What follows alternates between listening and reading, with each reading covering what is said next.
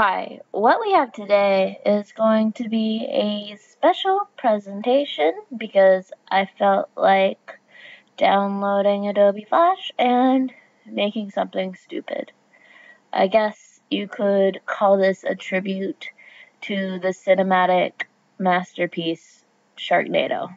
So, here it is.